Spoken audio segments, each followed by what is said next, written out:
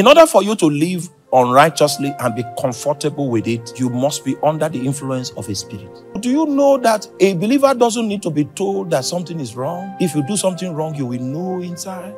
Yes, there is an inbuilt system of discernment that is inside of your heart. If that system of discernment is still there, it's proof of the fact that you are spiritually healthy. I preached a, a, sermon on the four symptoms to show that you are still in spiritual health. And one of those symptoms is that you still feel uncomfortable when you sin, when you say something that God is not happy about you you are the first to know. The people you are talking to will not even know that you lie. The reason why the Holy Spirit exposed it is so that you can crawl from that place back to your closet and ask Him for mercy. Because He's saying that that fruit you bore was not from me, that fruit you bore was from the devil.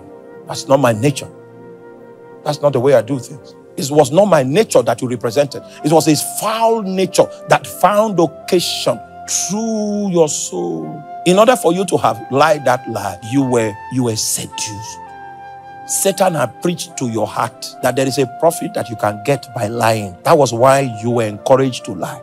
The Bible says the spirit of the last days intends to seduce every believer so that we will think that there is profit in disobeying God.